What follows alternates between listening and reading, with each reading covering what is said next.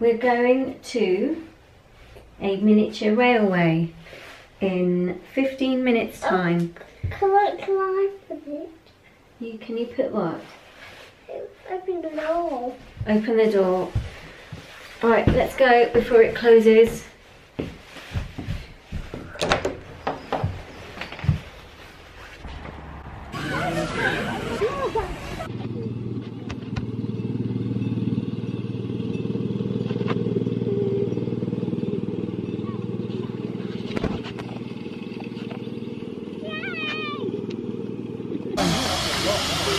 Good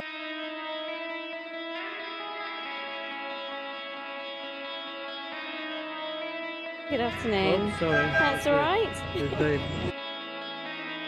Thank you.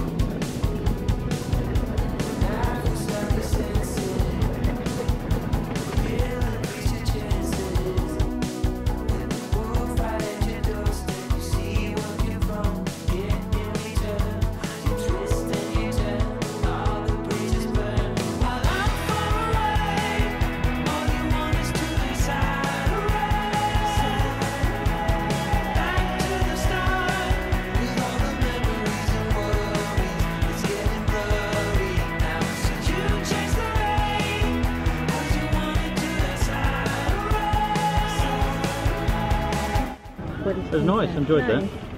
Feels like we've been on a log flume But Yeah. at so- Alton Towers or something. but, uh, Did you like it, Jay? Jay, did you like the train? Did you like it? Yeah. You did.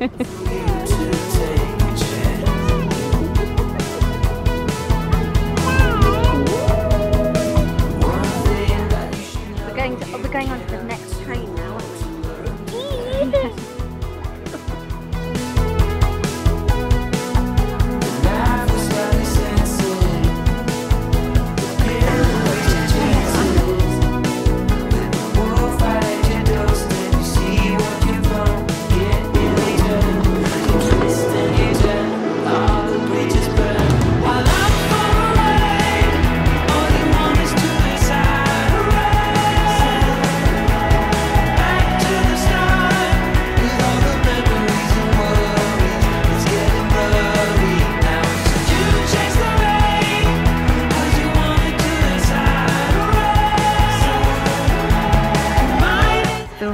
Has got my hair. Look at what it's done.